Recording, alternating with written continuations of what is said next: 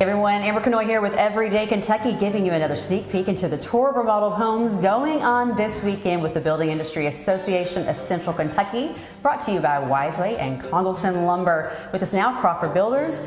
John, by the magic of television, all of this is just going to transform by this weekend. It is indeed.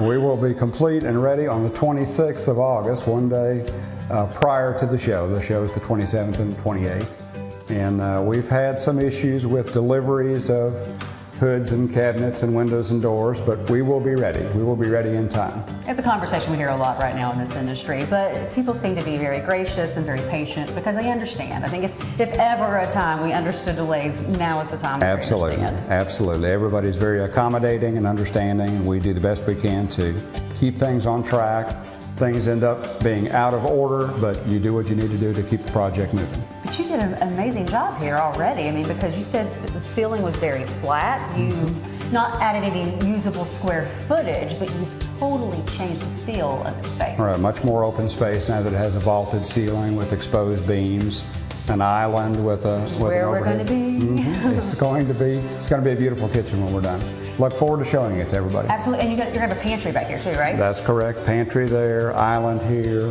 bar around the corner. So all that will be available for viewing. this was built in the 1970s, right? It was built in 1973.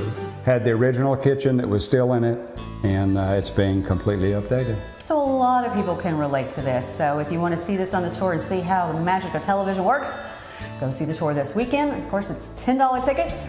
You can get them online at biacentralky.com.